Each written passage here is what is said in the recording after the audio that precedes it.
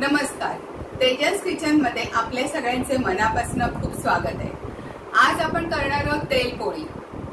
CKP आम- आमच्या CKP लोकांमध्ये पुरणपोळी नाही म्हणत तेलपोळी म्हणतात. कारण ही तेलपोळी म्हणजे तेलात मैदा भिजवून पूर्णपणे तेलावर लाटली जाते.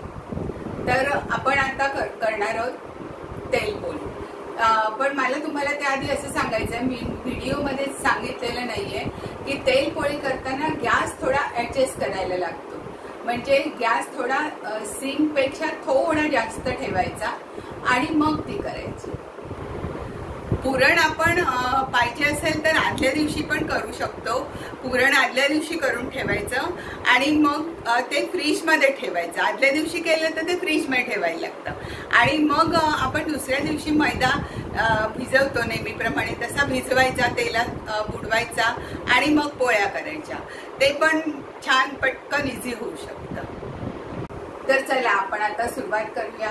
तेलपोळी करायला आणि नेहमीप्रमाणेच हा व्हिडिओ तुम्हाला आवडला तर ह्याला लाईक शेअर आणि सबस्क्राईब पण करा. थँक्यू आधी आपण पुरणपोळीसाठी पुरण क- तयार करून घेऊया. तर पुरणासाठी ही आहे चणा डाळ. ही चणा डाळ आपल्याला लागणार आहे. ह्या पेल्यानी दोन पेले भरून चणा डाळ घेतली आहे आणि एवढी जास्त आहे. म्हणजे अर्धा किलो चणा डाळ आहे ही. ही स्वच्छ तीन वेळा धुवून घ्यायची आणि नंतर साधारण पाच ते सहा तास भिजत घालायची. आणि त्यासाठी जेवढी चणा डाळ आहे तेवढाच आपल्याला गूळ लागणार आहे. म्हणजे दोन पेले भरून आणि थोडा जास्त असा गूळ घेणार आहे मी. आणि मीठ. एवढं साहित्य आता आपल्याला लागणार आहे. आता ही चणा डाळ मी स्वच्छ धुवून घेते. आणि ख पाच ते सहा तास भिजत घालते. हे पहा आता ही डाळ चांगली सहा तास झालेली आहे चांगली भिजलेली आहे. आता ही मी कुकरमध्ये ठेवणार आहे आणि पाच शिट्या करणार आहे. आता प्रत्येकाच्या कुकरवर आहे तर माझ्या कुकरमध्ये पाच शिट्या लागतात. कुणाच्या चार शिट्यांमध्ये पण शिजतं किंवा कुणाला सहा सात शिट्या पण कराव्या लागतात. तर मी आता ही कुकरमध्ये ठेवून शिजवणार आहे. ही चण्याची डाळ आपण कुकरमध्ये उकडून घेतलेली आहे. पाच शिट्या केलेल्या आहेत आणि आता बघा चांगली उकडली गेलेली ही बघा एकदम चांगली उकडली गेली आता ह्याच्यात हे जे पाणी आहे राहिलेलं हे ह्या चाळणीमध्ये मी काढून टाकणार आहे. आणि ख ह्याच पेल्यानी आपण डाळ मोजली होती. साधारण दोन पेले आणि थोडीशी जास्त अशी डाळ होती. तेवढाच हा आपण गूळ घेतलेला आहे. हा गूळ ऑर्गॅनिक गूळ आहे. म्हणजे रंग छान येतो पूर्णाचा. आणि पाणी ह्या डाळीतलं काढून टाकल्यावर मग ही डाळ ह्याच्यात मिक्स करणार आहे. आणि गॅसवर ठेवून हलवणार आहे. दाखवते कसं ते. आता ह्या डाळीतलं सगळं पाणी आपण काढून टाकलेलं आहे. ह्या पाण्याची तुम्ही कटाची आमटी करू शकता. आता ही डाळ ह्या गुळामध्ये मिक्स करायची आहे. आता ही डाळ या आपण गुळामध्ये मिक्स करणार आहोत. म्हणजे काय होतं सगळं पाणी काढून टाकलं की पुरणा पुरण पटकन होतं कारण गुळाला पण पाणी सुटतं त्याच्यामुळे मग ते पाणी पाणी होतं. म्हणून सगळं पाणी काढून टाकायचं आणि हे मिक्स करायचं. हे पहा. हे सगळं असं मिक्स करायचं गूळ आणि डाळ आणि मग हे गॅसवर ठेवायचं. हा आता हे आपण गॅसवर ठेवलेलं आहे भांड. आता ह्याला गुळाला पाणी सुटेल. ते पाणी आपण आटवायचं सगळं. दाखवते मी कसं ते. हे पा आता ह्या गुळाला पाणी सुटलेलं आहे आणि ख ते पाणी आटेपर्यंत आपल्याला डाळ आणि गुळ असं गॅसवर ठेवायचं आहे आता गुळाचा रंग बघा किती छान आलेला आहे तो. गुळ शक्यतो असा ऑर्गॅनिक घ्यायचा म्हणजे रंग छान येतो. आणि भा हे करता करता ह्याच्यात एक अर्धा चमचा वेलची पूड आणि अर्धा चमचा जा जायफळ पूड पण घालायचे. आणि ख थोडंसं मीठ ॲड करायचे हे बघा मीठ अगदी थोडं असं चिमटीभर. एवढूस. नाही घातलं तरी चालेल.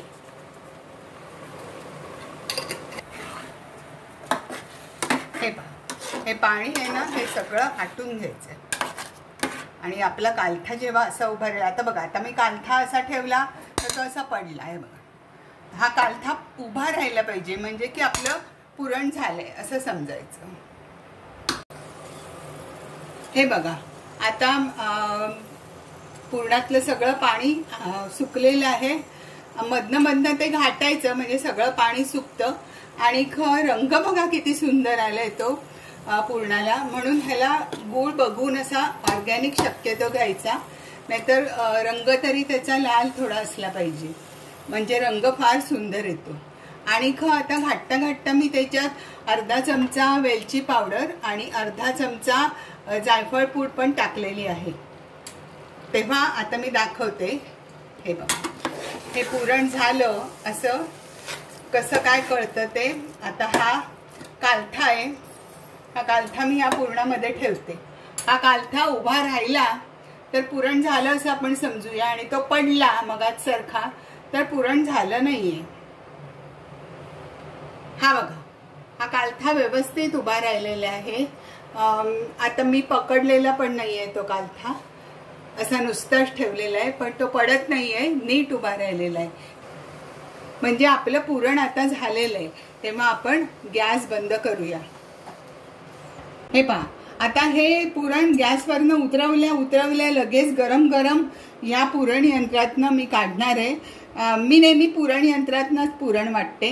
मला मिक्सरमध्ये वाटायला वगैरे आवडत नाही. जर का हे तुमच्याकडे नसेल तर तुम्ही हँड मिक्सर वगैरे असतो त्याच्यातनं काढलं तरी काही हरकत नाही. पण हे गरम गरमच वाटायला लागतं. जर का तुम्हाला पुरण यंत्रात घालून वाटायचं असेल तर दाखवते मी कसं ते. हे पहा.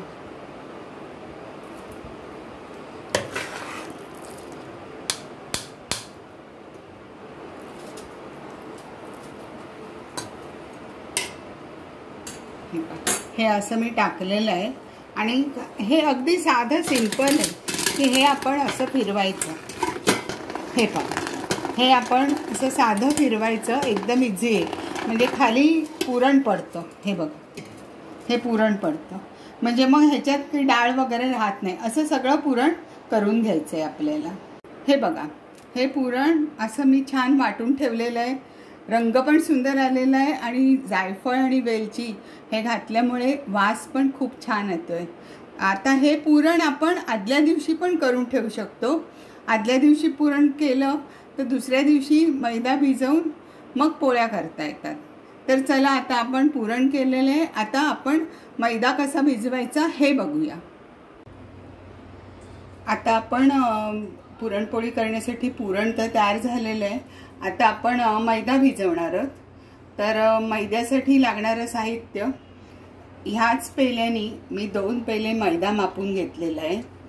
त्याच्यानंतर आपल्याला थोडीशी हळद लागेल मीठ तेल आणि पाणी. एवढं सामान आपल्याला लागणार आहे. काही काही जणी मैदा आणि गव्हाचं पीठ असं मिक्स घेतात. काही जणी मैदा आणि रवा असं पण मिक्स घेतात पण मी मात्र पूर्ण मैद्याच्या करते. तर चला आपण आता मैदा भिजवायला सुरुवात करूया. हे बघा ही एवढी हळद. हळदीनी रंग छान पिवळा येतो. आपण नेहमी चपातीसाठी मीठ घालतो. तेच प्रमाण घ्यायचं आणि ख आपल्या चवीपुरतं मीठ.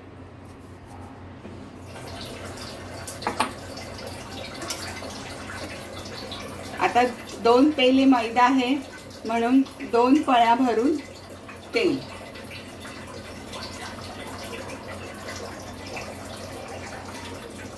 एवढी पळी आहे माझी. या पळीनी दोन पेले तेल घातले. तेलाचं प्रमाण कमी जास्त झालं तरी काही हरकत नाही. आणि आपण जसा आपण कणिक मळतो तसंच हा मैदा पण भिजवायचा आहे. जास्त घट्ट नाही जास्त सैल नाही.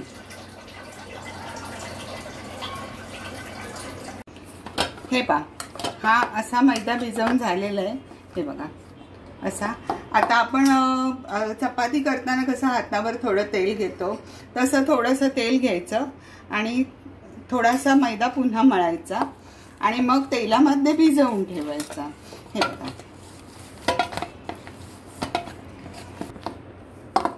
हे बघा. आता आपण एका दुसऱ्या खोलगट भांड्यात हा मैदा ठेवणार आहोत.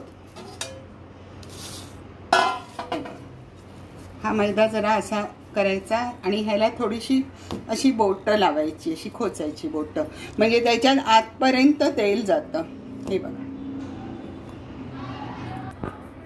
हे बघा हे बोटांनी असे खड्डे केलेले आहेत ह्याच्यामध्ये. म्हणजे आतपर्यंत तेल जाईल आणि आता हे हा मैदा तेलात बुडवून ठेवायचा. तेल पोळे आहे त्याच्यामुळे तेल जास्त लागणार. हे पहा. मैदा बुडेल एवढं तेल आपण घातलेलं आहे आणि आता हा मैदा आपल्याला पाच ते सहा तास झाकून ठेवायचा आहे. मग पाच तासानंतर आपण पोळ्या करायला घेणार आहोत. कुणी कुणी मैदा भिजवताना त्याच्यात हळदीच्या ऐवजी केशर टाकतात. पण मला हळदीचा कलर अतिशय आवडतो पिवळा कलर येतो. त्याच्यामुळे मी हळदच टाकते. केशराचा पण रंग छानच येतो. पण मला हळद आवडते. आता आपण हा पोळपाट आहे. या पोळपाटाच्या साईजचा हा बटर पेपर कापून घेतलेला आहे. बटर पेपर जर का मोठा घेतला पोळपाटापेक्षा तर तेल खाली सांडतं म्हणून शक्यतो पोळपाटाच्या साईजचा कापून घ्यायचा. आणि कोणी कोणी बटर पेपरच्या ऐवजी पत्रा पण वापरतं. पण मी बटर पेपर आणलाय.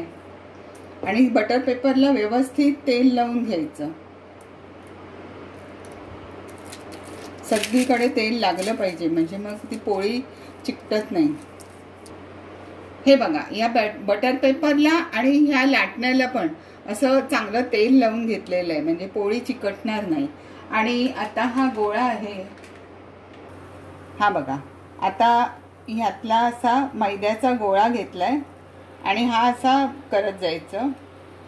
आणि आपण जो तेल लावलेला बटर पेपर आहे त्याच्यावर हा ठेवायचा. आणि हाताने थोडासा पसरायचं. जरा जाडच ठेवायचं एकदम पातळ नाही करायचं कारण नाहीतर मग पोळी फाटेल आता या पुरणाचा गोळा पण आपण घ्यायचा अंदाजानेच घ्यायचा.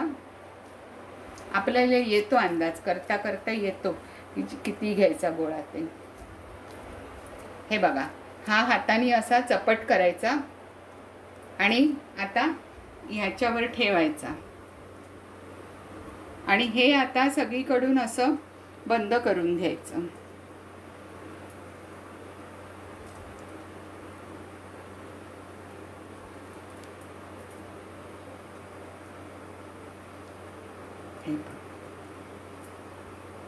हे असं सगळीकडून बंद करून घ्यायचं. आणि मग हाताने जरा असं चप्पट करायचं. म्हणजे पुरण सगळीकडे पसरतं आणि ह्याच्यावर ठेवून पण बटर पेपरवर ठेवून पण हाताने जरा असं करायचं. म्हणजे पुरण सगळीकडे पसरतं नाहीतर मग पुरण एका ठिकाणी आणि मैदा नुसताच खा येईल. हे बघा हे आता असं पसरून घेतलेलं आहे आणि एकदम हलक्या हाताने आता ही पोळी आपण लाटायची. आणि पोळपाट असा फिरवून ती गोल करायची. ही बघा ही आता माझी पोळी लाटून झालेली आहे. आता आपण ह्या लाटण्यावरती ती गुंडाळून घ्यायची आहे. म्हणजे ती सोडवताना बरं पडतं. हे बघा हे लाटण्यावर असं घ्यायचं. आणि लाटणं असं फिरवत जायचं. हे बघा. मग ती इझिली निघते चिकटत नाही. आणि मग टाकताना तव्याच्या कडेपासून सुरुवात करायची अगदी. हे पा